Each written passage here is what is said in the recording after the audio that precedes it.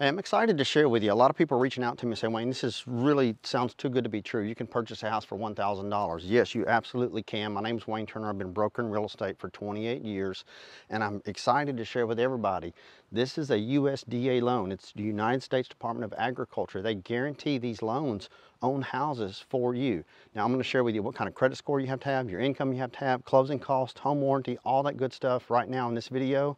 I promise you, you will love this. So the number one question I get is, Wayne, do I have to be a first-time home buyer? And the answer is no. You can. This could be your third home, fourth home. It doesn't matter. It's a 100% loan. The interest rates are the same as if, if it were an FHA loan. It's the same guidelines as FHA. It's USDA. It's United States Department of Agriculture. Now, you do have to have a 620 or higher credit score. You do have to have two years on the job, and you do have to show proof that you've paid your taxes for the last two years. Now, the reason why they want to see taxes and they want to see your credit report and they want to make sure you got a job, they want to make sure basically you can pay for the house because the United States government is guaranteeing the loan. So these are very similar to like a VA loan. They guarantee the loan. And a lot of people say, well, Wayne, what's the maximum amount of house I can purchase? It has nothing to do with the uh, value of the home. It has to do with your income, how much money you actually make. Now, how much money you make is gonna vary. Like for example, where I'm at in the New Orleans area, it's $110,600. You can't make over $110,600, but it's gonna vary per county. You can go to the USDA.gov website, you can do a little fishing around there and they'll show you exactly what the maximum amount of income is per your county. Now, please listen to me here. It does vary. If you're one person, single, a married couple, you have two dependents, like two children, so what they classify as a family of four or less, it's $110,600 in this area of New Orleans. However, if you're a family of five or more, for example, you're a family, you got four kids or three kids, and it's you and your spouse, that bumps up to over $140,000 in income that you can make to purchase a house like this. Look, when I say income, and I'm gonna walk you around this house and I'll walk you through it here in just a second. So we'll just talk about the house, talk about, you know, features of a home, plus how you can purchase a house like this. But listen, it's income. So people ask me, and I made the mistake the other day in a video, I said it's your adjusted gross. It's not, I was corrected, and I do stand corrected.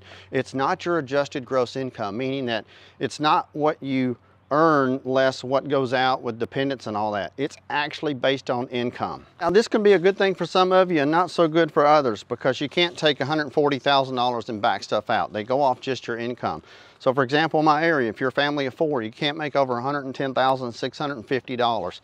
That's what your employer pays you and that's what they go off of. Now, as I'd mentioned, to be able to purchase a house like this, we as real estate brokers get your closing cost paid for you. Sellers pay your closing cost. We even get them to most of the time throw in a home warranty for you, which is really cool. And those home warranties cover all the components on the property that are the most expensive to fix. For example, your refrigerator, your stove, your dishwasher, heating and air systems, water heaters, all of that good stuff can be covered if you purchase a house like this. And once again, you don't have to be a first-time home buyer. You can be a pre-existing home buyer. You can sell your home and then purchase another home this way.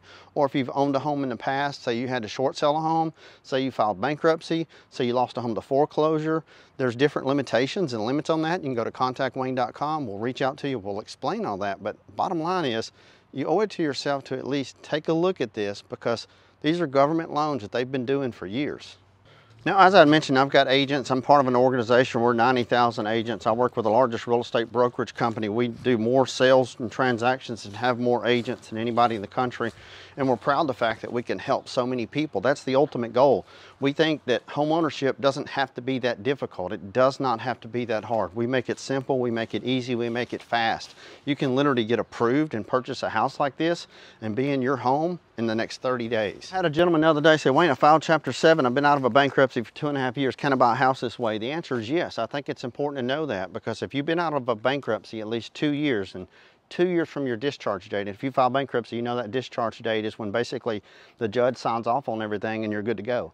Literally two years from that date, you can purchase a house like this. It goes under the same FHA guidelines. So if you're out there, if you don't want to buy a house this way, you actually want to put some money down on the property, you're more than welcome to do that. You can purchase a house like this, only cost you 3.5% to put down on an FHA or USDA is $1,000. And listen, the $1,000, that's basically to cover your home inspection. It's no money out of pocket if you don't want to get it inspected, but I would never advise that.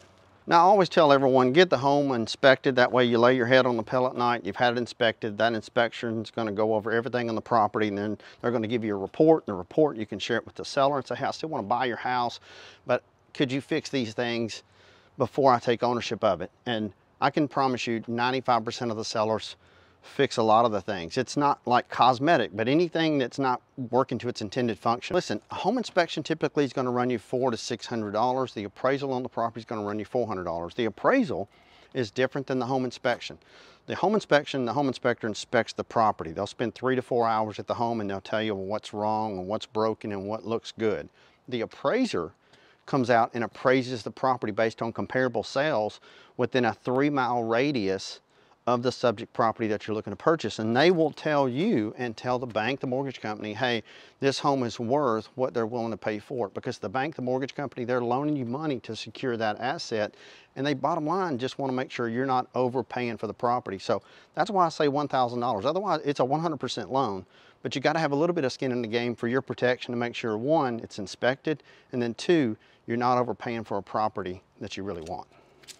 Something else, and I think this is really important for people to know, is that if you close on a house, for example, at the first of the month, the fifth or sixth or seventh or eighth, you don't have a mortgage payment for 60 days. Like for example, if you were to close on the house on April the 1st, well, if you close on April 1st, you don't have a mortgage payment for April or for May. You don't have a mortgage payment until June 1st. And that just comes in handy whenever you're trying to calculate and adjust for moving expenses and your renting and your last month's rent and getting your deposit back. So you got a little bit of floating time there, if you will. I think that's really important to know. Another great question that people ask is, Wayne, is there any recapture period? In other words, is there any period of which time that I have to pay money back or pay the money back? No, there's not. You can actually live in this house if you wanted to. You purchase a house just like this. As long as you live in it for two years, if you were to live in it for two years, sell it and make a profit, the profit's yours. It's your money, even though it was a 100% loan. But you got to keep in mind it's a 100% loan. So you may not profit as much keeping it for two years.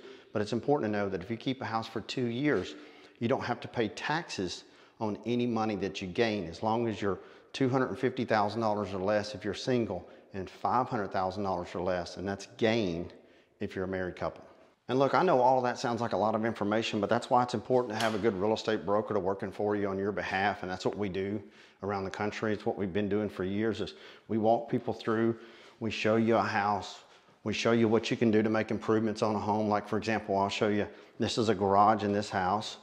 And one thing that you can do to really improve a garage is to physically paint everything including the floor. I did a video on that where it's like you can, for 250 bucks, you can make this floor look like this really cool shop with this great paint and you could paint everything. And then it just makes the house look that much more cleaner, neater, desirable. And listen, when it's clean, it's neat and desirable, they're the fastest to sell and for the most amount of money. This home I'm walking you through is a three bedroom, two bath house. There's three bedrooms on that side. It's got a huge big living room, as you can see wood burning fireplace. It's all brick. Got this really cool little wet bar area here.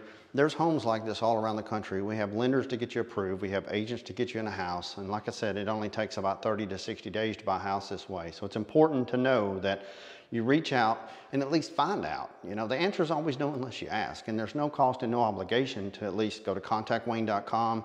I will call you back personally, spend five to 10 minutes on the phone with you, connect you with a lender, connect you with an agent, you can purchase a house like this literally in the next 60 days. I'm Wayne Turner. Thank you for watching.